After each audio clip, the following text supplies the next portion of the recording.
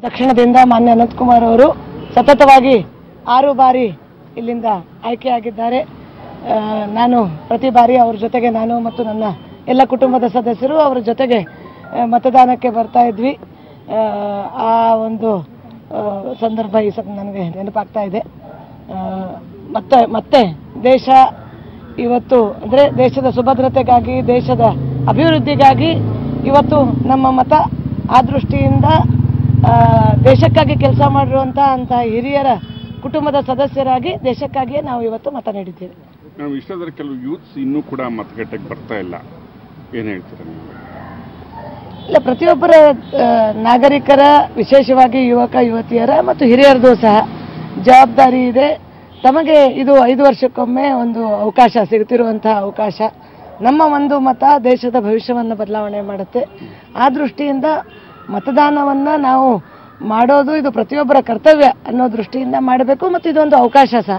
ಅದನ್ನು ಸರಿಯಾದ ರೀತಿಯಲ್ಲಿ ನಮ್ಮ ಯುವಕ ಯುವತಿಯರು ಬಳಸಬೇಕು ಹಿರಿಯರು ಬಳಸಬೇಕು ಬಂದು ದೇಶಕ್ಕಾಗಿ ಮತ ನೀಡಬೇಕು.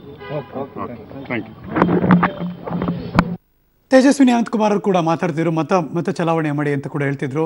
ಇದೀಗ ಈ ಮಳವಳ್ಳಿ ಭಾಗದಲ್ಲಿ ನಮ್ಮ ಕೊಲೀಗ ಮುರಳೀಧರ್ ನೇರ ಸಂಪರ್ಕದಲ್ಲಿ ಜಾಯಿನ್ ಆಗ್ತಿದ್ದಾರೆ.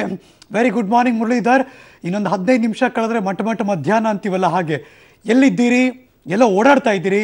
ಏನು ಅಪ್ಡೇಟ್ ಸಿಗ್ತಾ ಇದೆ? ಹೇಗಾಗ್ತಿದೆ ಮತದಾನದ ಪ್ರಕ್ರಿಯೆ ಆ, ಖಂಡಿತವಾಗಿಯೂ ಹರೀಶ್, ಏನಂದ್ರೆ ಮಂಡ್ಯ ಅಂದರೆ ತುಂಬ ಪ್ರತಿಷ್ಠೆಯ ಕಣವಾಗಿತ್ತು, ರಣಕಣ ಅಂತ ಹೇಳಿ ಹೈ ವೋಲ್ಟೇಜ್ನ ಒಂದು ಕ್ಷೇತ್ರ ಆಗಿತ್ತು. ಕ್ಷೇತ್ರ ಆಗಿದ್ದ ಹಿನ್ನೆಲೆಯಲ್ಲಿ ಮತದಾನ ದಿನ ಏನು ಬೇಕಾದರೂ ಆಗ್ಬೋದು ಅಂತ ಹೇಳಿ ಸಾಕಷ್ಟು ನಿರೀಕ್ಷೆಗಳಿತ್ತು. ಆ ಹಿನ್ನೆಲೆಯಲ್ಲಿ ಬಿಗಿ ಪೊಲೀಸ್ ಬಂದೋಬಸ್ತನ್ನು ಸಹ ಪೊಲೀಸ್ ಇಲಾಖೆಯು ಸಹ ಮಾಡಿಕೊಂಡಿತ್ತು. ಜೊತೆಗೆ ಚುನಾವಣಾ ಆಯೋಗವು ಸಹ ಸಾಕಷ್ಟು ಎಚ್ಚರಿಕೆನ ವಹಿಸಿತ್ತು. ಆದ್ರೆ, ಆ ನಿರೀಕ್ಷೆಗಳನ್ನೆಲ್ಲ ಹುಸಿ ಮಾಡಿದೆ. ಮಂಡ್ಯದಲ್ಲಿ ಸಂಪೂರ್ಣವಾಗಿ ಶಾಂತಿಯುತವಾಗಿ ಮತದಾನ ಆಗ್ತಾ ಇರುವಂಥದ್ದು. ಅಂದ್ರೆ ಒಂದೆರಡು ಕಡೆ ಮತದಾನದ ಪ್ರಕ್ರಿಯೆಯಲ್ಲಿ ವಿಳಂಬ ಆಗಿದ್ದಂಥದ್ದಿರ್ಬೋದು ಜೊತೆಗೆ ಮತಯಂತ್ರಗಳು ಕೈ ಕೊಟ್ಟಿದ್ದಂಥದ್ದಿರ್ಬೋದು ಜೊತೆಗೆ ಮತಯಂತ್ರವನ್ನು ಜೋಡಿಸೋ ಸಂದರ್ಭದಲ್ಲಿ, ಅಂದ್ರೆ ಕ್ರಮ ಸಂಖ್ಯೆಯಲ್ಲಿ ಇಡೋ ಸಂದರ್ಭದಲ್ಲಿ ಅದ್ಲು ಬದಲಾಗಿದ್ದನ್ನು ಹೊರತುಪಡಿಸಿದ್ರೆ ಯಾವುದೇ ರೀತಿಯ ಅಹಿತಕರ ಘಟನೆ ಆಗಲಿ, ಯಾವುದೇ ರೀತಿಯ ಗಲಾಟೆಗಳಾಗಲಿ, ಯಾವುದೂ ಸಹ ಆಗಿಲ್ಲ. ಅಂದ್ರೆ, ಈಗ ನಾನು ಪ್ರಸ್ತುತ ಮಳುವಳ್ಳಿಯಲ್ಲಿದ್ದೀನಿ. ಅಂದ್ರೆ, ಇಡೀ ಮಂಡ್ಯದ ಸಂಪೂರ್ಣವಾಗಿ ಸುತ್ತಾಡ್ತಾ ಇದ್ದೀನಿ. ಅಂದ್ರೆ, ಮಂಡ್ಯದ ಎಂಟು ವಿಧಾನಸಭಾ ಕ್ಷೇತ್ರಗಳೇನಿದ್ದಾವೆ ಆ ವಿಧಾನಸಭಾ ಕ್ಷೇತ್ರಗಳನ್ನು ಸಹ ಸಂಪೂರ್ಣವಾಗಿ ಸುತ್ತಾಡ್ತಾ ಇರುವಂಥದ್ದು ಮತ್ತು ಎಲ್ಲೆಲ್ಲಿ ಯಾವ ರೀತಿಯ ಪರಿಸ್ಥಿತಿ ಇದೆ ಅನ್ನೋದ್ರ ಬಗ್ಗೆನೂ ಸಹ ಕೂಲಂಕಷವಾಗಿ ತಿಳ್ಕೊಳ್ಳೋ ಪ್ರಯತ್ನವನ್ನ ಮಾಡ್ತಾ ಇದ್ದೀನಿ. ಈಗ ನಿಖಿಲ್ ಕೂಡ ಏನಂದ್ರೆ ಬಿಡದಿಯ ಕೆತಗನ ಹಳ್ಳಿಯಲ್ಲಿ ಕೆತ್ತಗಾನಹಳ್ಳಿಯಲ್ಲಿ ಮತದಾನ ಮಾಡಿದ್ರು. ಮತದಾನ ಮಾಡಿದ ನಂತರ ಈಗ ಪ್ರತಿಯೊಂದು ವಿಧಾನಸಭಾ ಕ್ಷೇತ್ರಕ್ಕೂ ಸಹ ಬರ್ತಾ ಇದ್ದಾರೆ. ಜೊತೆಗೆ ಅಲ್ಲಿ ಏಜೆಂಟ್ಗಳು ಇರ್ತಾರೆ ಜೊತೆಗೆ ಮತದಾರರೇನಿರ್ತಾರೆ ಅವರನ್ನ ಮಾತಾಡಿಸೋ ಪ್ರಯತ್ನ ಮಾಡ್ತಾ ಇರುವಂಥದ್ದು ಜೊತೆಗೆ ಅವ್ರಿಗೆ ಮತ್ತೊಂದು ಕೊನೆಯ ಕ್ಷಣದ ಪ್ರಯತ್ನ, ಅಂದ್ರೆ ಮತದಾರರನ್ನ ಓಲೈಸೋ ಪ್ರಯತ್ನ ಸಹ ಆಗ್ತಾ ಇದೆ. ಅಂದ್ರೆ ಯಾವ್ಯಾವ ರೀತಿ ಮತದಾನ ನಡೀತಾ ಇದೆ ಅನ್ನೋದು ತಿಳ್ಕೊಳ್ಳೋ ಪ್ರಯತ್ನವನ್ನು ಸಹ ನಿಖಿಲ್ ಕುಮಾರಸ್ವಾಮಿ ಈಗ ಮಾಡ್ತಾ ಇರುವಂತದ್ದು. ಹರೀಶ್. ಹಳ್ಳಿ ಕಡೆ ಜನ ಸ್ವಲ್ಪ ನಿಧಾನಕ್ಕೆ ಎದ್ದು ಬರ್ತಾರೆ ಓಟ್ ಮಾಡ್ತಾರೆ ಅಂತೇನೋ ಮಾತಾಡ್ತಿದ್ವಿ. ಸೊ ಅದು ಕಂಡು ಬಂತ, ಇಲ್ಲ ಅವರು ಕೂಡ ತುಂಬ ಉತ್ಸುಕರಾಗಿ ಮಂಡ್ಯ ಜನ ಹೈ ವೋಲ್ಟೇಜು ಏನೋ ಒಂದು ಡಿಸೈಡಿಂಗ್ ಫ್ಯಾಕ್ಟರ್ ಕೆಲಸ ಮಾಡಿದೆ, ಹಾಗಾಗಿ ತುಂಬ ಜನ ಬಂದು ಬೇಗ ಬೇಗ ಓಟ್ ಮಾಡ್ತಿದ್ದಾರೆ ಅಂತ ನಿಮ್ಗೆ ಕಂಡು ಬಂತ? ಹೆಂಗಿತ್ತು ಸಿಚುವೇಶನ್ ಮತಗಟ್ಟೆಗಳ ಮುಂಭಾಗದಲ್ಲಿ?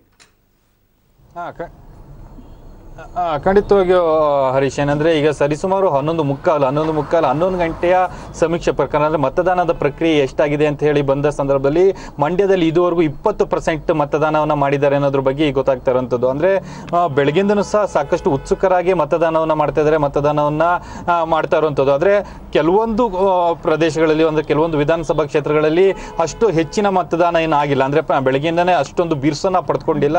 ಆದ್ರೆ ದಿನ ಸ್ವಲ್ಪ ಹೊತ್ತು ಕಳಿತಾ ಕಳಿತಾ ಹೋದಂತೆ ಬಿರುಸಿನ ಮತದಾನ ಆಗ್ತಾ ಇರುವಂಥದ್ದು ಆದರೆ ಹಳ್ಳಿಗಳ ಪ್ರಮುಖವಾಗಿ ಗ್ರಾಮೀಣ ಭಾಗಗಳಲ್ಲಿ ಮಧ್ಯಾಹ್ನ ಮೂರು ಗಂಟೆ ನಂತರ ಬಿರುಸಿನ ಮತದಾನ ಆಗುವಂಥದ್ದು ಸರ್ವೇ ಸಾಮಾನ್ಯ. ಯಾಕೆಂದರೆ ಸಾಕಷ್ಟು ಪ್ರಗ ಮತ ಚುನಾವಣೆಗಳಲ್ಲೂ ಸಹ ಇದನ್ನೇ ನೋಡಿರ್ತೀವಿ.